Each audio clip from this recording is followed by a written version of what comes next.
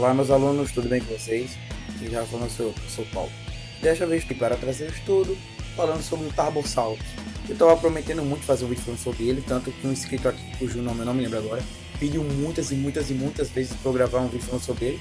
E bom, aqui está. Se caso você, esse inscrito que pediu, estiver vendo esse vídeo, saiba que está aqui, ó, o vídeo do Tarbosaurus para você, beleza? E para todos os inscritos e novos inscritos que vierem para o canal, beleza? Então vamos deixar de enrolação, pois eu estou enrolando. Eu sou o professor Paulo e sejam todos bem-vindos ao canal Universo Jurássico.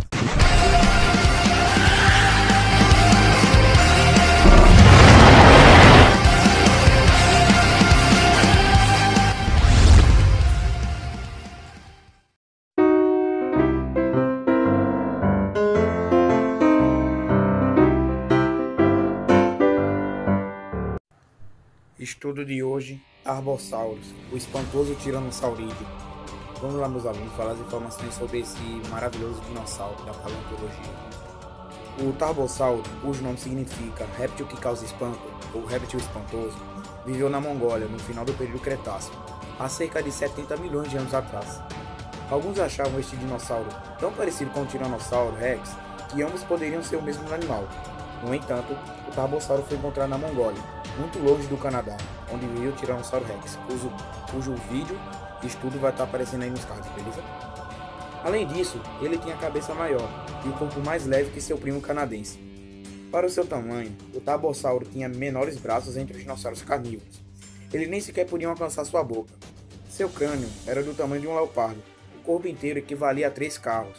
Em sua mandíbula superior havia 27 dentes longos e curvos, prontos para dilacerar a carne. Seus pequenos braços não serviam para lutar, apesar de possuir garras fortes. Os pés eram incomparavelmente mais fortes, com três garras grandes e seus enormes tornozelos indicavam que este dinossauro podia mover-se com bastante velocidade. Desculpa o gaguejo.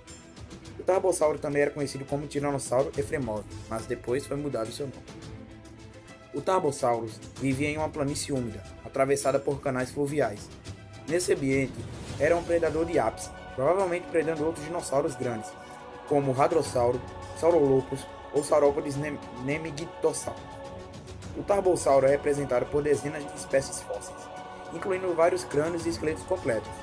Esses restos permitiram estudos científicos com foco em sua filogenia, mecânica craniana e estrutura cerebral, ou seja, deu para estudar muito bem essa criatura.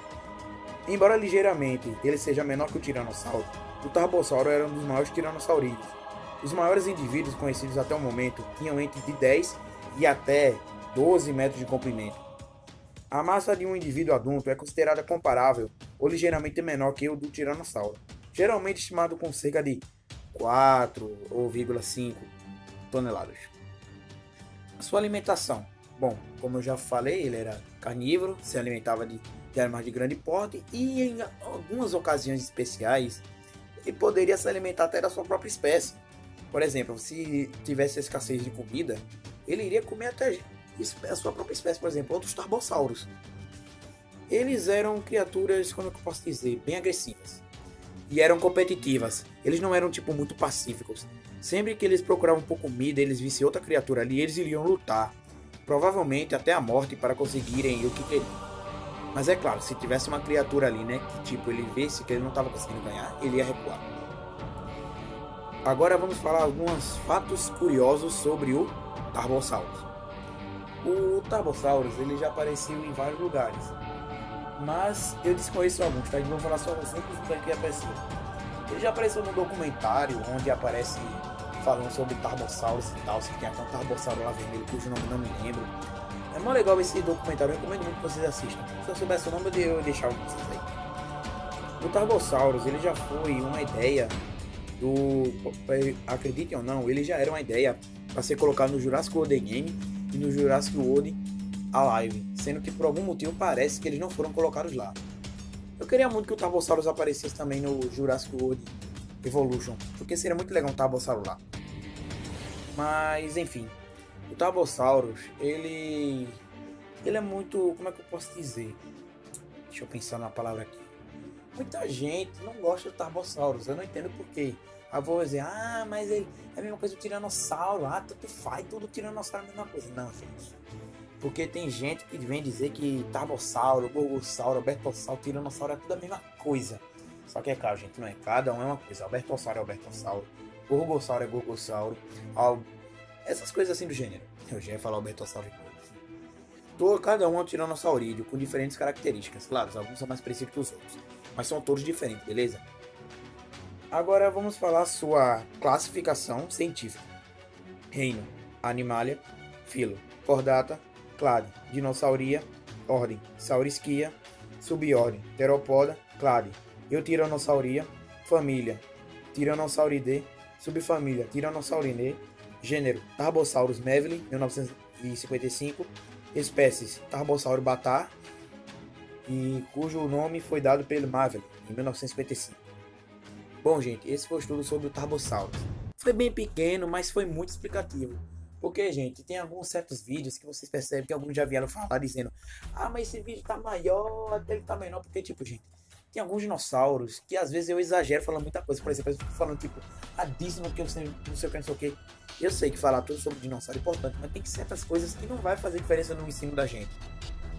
Beleza?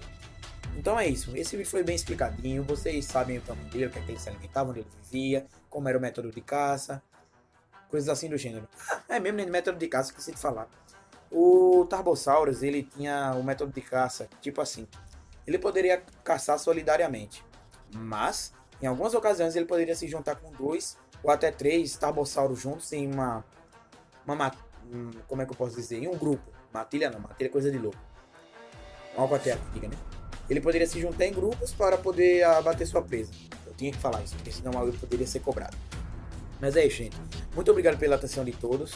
Muito obrigado mesmo. O próximo vídeo eu sei que vocês também vão postar assim como esse, beleza? Então é isso. Valeu, falou, fui. Amo vocês. Até o próximo vídeo. Fui, meus alunos. Fui.